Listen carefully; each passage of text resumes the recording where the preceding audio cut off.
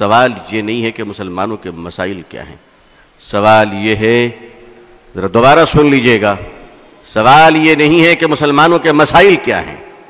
ना, आपको फिर कहता हूँ, फिर सुनिए। सवाल ये नहीं है कि मुसलमानों के मसाइल क्या हैं। सवाल यह है, काम शुरू कहाँ से किया जाए? काम शुरू कहाँ से किया जाए? हमें काम ही करना नहीं आता। हम काम करना ही नहीं चाहते।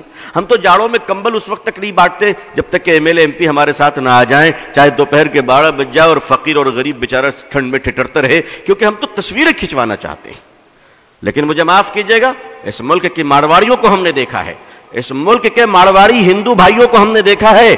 कलकत्ते की सड़क पे रात के दो बजे पूरी फैमिली स्कॉर्पियो कार से उतरते हैं बेटी, बेटे नवासों के साथ। और जनवरी की सख्त सर्दी कलकत्ते के कलकत्ते के सेंट्रल एवेन्यू की सड़क पे, मैं प्रोग्राम से आ रहा था रात में लेट नाइट, हमने देखा कि दो गाड़ियाँ खड़ी है। इस रात में, इस अंधेरी रात में, फुटपाथ पे गरीब, कार्टून और अखबार ओढ़े सो रहे हैं। और हमारा हिंदू भाई उतर कर रात के अंधेरे में कंबलें डाल रहा है। न कोई फोटोग्राफर था, न कोई एमएलए और एमपी था, मगर हम दस कंबल बांटते हैं तो गरीबों को जलील करते हैं। जलील करते हैं। ये दिखावा कब तक कीजिएगा?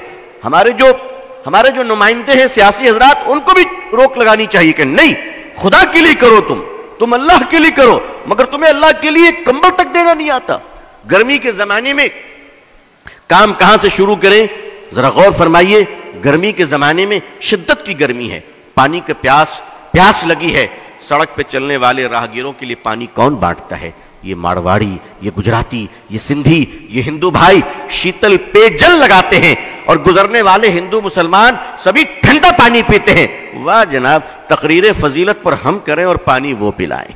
आपको किसने रोका पानी पिलाने से? आपको किसने रोका पानी पिलाने से? मैंने उड़ीसा में एक बार तकरीर की इस पर। और एक मदरसा तो बस स्टैंड के करीब आज भी है। उन लोगों ने कहा कि अबू तालिब साहब, हम क्या करें?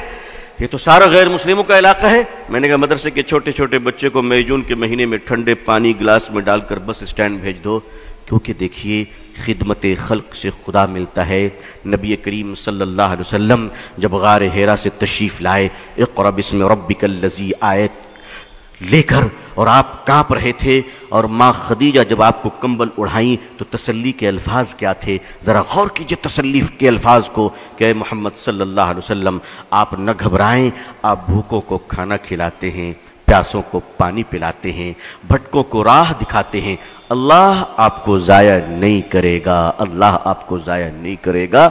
मुसलमानों ने अपने इस अजीम काम को भुला दिया है। और करता भी है तो नाटक, ड्रामा और दिखाने के लिए करता है। दिखाने के लिए करता है। मदरसे के छोटे छोटे बच्चे जब पानी का ग्लास लेकर बस स्टैंड पहुँचे तो सुनिए लोगों ने जो मुझे वाकया बताया। कहा कि आप तो बोलकर चले गए, उसके बाद हुआ क्या? हमने क्या हुआ? कहा, हमारे छोटे छोटे बच्चे जब तपती हुई धूप में ठंडा पानी लेकर बसों, बस के स्टैंड में पहुँचे और उन्होंने पानी बढ़ाया तो बसों से मुसाफिर नीचे उतर आए। और औरतें बच्चों को सीने से लगा के रोने लगी कि बेटा, इस गर्मी में तुम पानी पिला रहे हो? और क्या हिंदू, क्या मुसलमान, किसी ने अपने जेब से दो रुपए निकाले, किसी ने पाँच रुपए निकाले और उन मासूम बच्चों को देने शुरू कर दिए, मुसलमानों, मोहब्बतें मरी नहीं हैं, मोहब्बतें तुम्हारी बेवफाई का शिकार हो चुकी हैं। तुमने खिदमत भुला दिया है।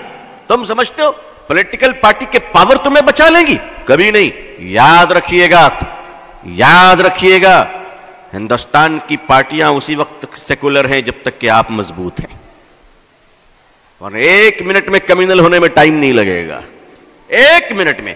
अगर अंदाज़ा हो जाए कि अब तुम उनके काम के नहीं हो तो वह तुम्हारी तरफ़ पलट कर भी नहीं देखेंगे। पलट कर भी नहीं देखेंगे। मैं करीब से जानता हूँ। आप एक काम कीजिए खिदमत का काम शुरू कीजिए। बहुत सारे लोग हैं माशाल्लाह साहिब हैसियत है मालदार हैं। मैं एक, एक आपको सोल्यूशन पेश करता हूँ। एक मशवरा देता हूँ, शायद कुछ लगे अच्छा तो कीजिए। मैं तो करता हूँ, अल्हम्दुलिल्लाह। मैं करता हूँ। मैंने अपने दोस्तों को भी किया है और अब मुस्तकिल ये काम हो रहा है, अल्हम्दुलिल्लाह। ऐसा नहीं कि सिर्फ़ यहीं पर बोल रहा हूँ। मुस्तकिल ये काम कर रहा हूँ। जेब में हज़ार, दो हज़ार रुपये रख लिया कीजिए। सरकारी अस्पताल चले जाए कीजिए। किनारे खड़े हो जाइए और देखिए कि सरकारी हॉस्पिटल में गरीब औरत अपने बूढ़े शोहर के इलाज के लिए आई है। और कोई नहीं उसका सहारा। कोई नहीं उसका सहारा। वो बेचारी तड़प रही है। आप उसके करीब जाएँ और कहें, माई, आपको किस चीज़ की ज़रूरत है? वो बेचारी तड़प जाएगी कि इस जगह पे मुझे माँ कहकर किसी ने पुकारा था। और आप कहें, आप उस वक्त कहें, माई, मैं आपकी सेवा करूँगा। आप उनको दवाएँ खरीद के दें। आप उनको खाना खिलाएँ। आप उनको अस्पताल में एडमिट कराएँ। आप यकीन मानिए, उस बहन के दिल से जो दुआ निकलेगी, उस दुआ की बरकत से तुम्हारे खानदान तक मुसीबत से महफूज रहेंगे इंशाअल्लाह। कभी कीजिए तो कभी ये काम कीजिए। आखिर मुसलमान मुसलमान मल्टीपल किचन ऑर्गेनाइज क्यों नहीं करता? मल्टीपल किचन जिसे हम लंगर कहते हैं। अस्पतालों में आप लंगर क्यों नहीं लगाते? आप वहाँ भी तो लगाइए, वहाँ गरीबों को खाना खिलाइए। याद रखिए अजमत रफ्ता को वापिस लाना है तो इलेक्शन जीत कर नहीं मानवता की सेवा कर कर हम अजमत रफ्ता को वापस ला सकते हैं। खिदमत खल्क के सिवा कोई दूसरा रास्ता नहीं है। आपके पार्लियामेंट में, असेंबली में अगर मुसलमान ही मुसलमान भर जाए तो भी आप इज़्ज़त नहीं पा सकते। इसलिए अल्लाह ने इज़्ज़त का रास्ता पार्लियामेंट नहीं वन तुम तुम मोमिन करार दिया है। आप खिदमत कीजिए खिदमत कीजिए। और अल्लाह के लिए कीजिए। पानी पिलाइए लोगों को, खाना खिलाइए, लंगर चलाइए, इलाज के लिए पैसे बांटिए, सदका कीजिए। और हाँ, ये सब करते वक्त जरा लाइव टेलीकास्ट मत कीजिएगा। वो खुदा देख रहा है जो फेसबुक में नहीं देखा करता। वो आपको देख रहा है। अगर खुदा को दिखाना है तो मीडिया को साथ ना रखिएगा। और दुनिया को दिखाना है तो याद रखिए कि फिर खुदा तुम्हें नहीं देख रहा है।